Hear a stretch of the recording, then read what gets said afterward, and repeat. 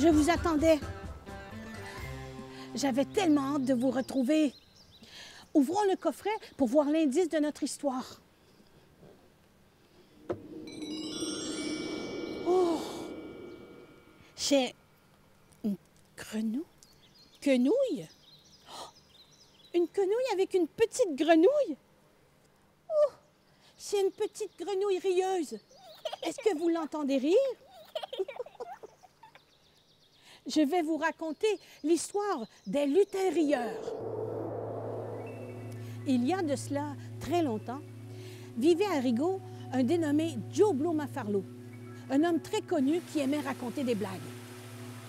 Un jour, comme à l'accoutumée, il décida de faire une pause après le dîner du dimanche. Lors de cet après-midi, il part rejoindre son ami forgeron, promettant à sa femme qu'il serait de retour pour le souper. Son ami Tipou, du bout du rang, tenait une petite forge où nos deux amis prenaient plaisir à se retrouver. Juplo Mafarlo raconta à son ami Tipou tellement de petites histoires drôles qu'il ne vit pas le temps passer. Sachant que sa femme serait très déçue s'il manquait à sa promesse d'être là pour le repas du soir, Joplo se mit en route sans plus tarder. Mais pour ce faire, il allait devoir passer par le boisé des lutins rieurs. Ce boisé, disait-on, était ensorcelé. Il ne fallait sous aucun prétexte s'y aventurer le soir. Jamais, jamais, jamais, jamais, jamais, jamais. Car dès le soleil couché, treize lutins rieurs et joueurs de tours s'y promenaient et faisaient danser toute la nuit durant toute personne qui s'y aventurerait.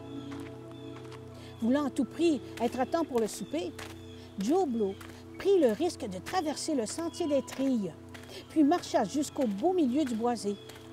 C'est alors qu'il se fit encercler par des lutins. Ceux-ci commencèrent à jouer de la flûte, qui ensorcela Dioblo Mafarlo de Rigaud. Il ne pouvait s'empêcher de danser, ses pieds giguaient suivant le rythme endiablé de la musique. Au bout d'un moment, Dioblo Mafarlo, à moitié mort d'essoufflement, eut la brillance d'esprit de proposer une blague aux lutins c'est bien connu. Les lutins adorent les blagues. arrêtez! Arrêtez! Oh, je vous en supplie! J'ai une bonne blague à vous raconter si vous me laissez me reposer, dit Joe Blue. Ta blague devra être très bonne. Euh, sinon, nous continuerons à jouer jusqu'au matin. Dioblo Mafarlo raconta une histoire si drôle euh, que quand les lutins l'entendirent, ils se mirent à rire, à rire, à rire, à rire jusqu'aux larmes. Et c'est bien connu que des lutins, quand ça rit aux larmes, ça rit longtemps et abondamment.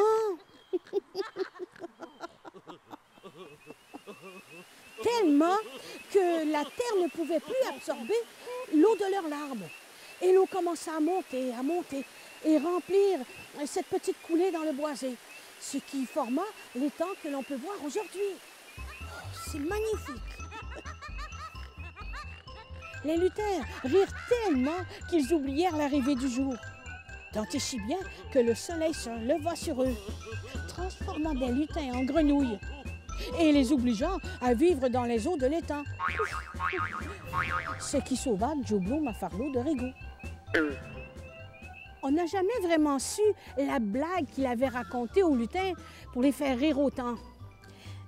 Certains disent que Joe Blow Mafarlo s'était promis de ne plus jamais la raconter.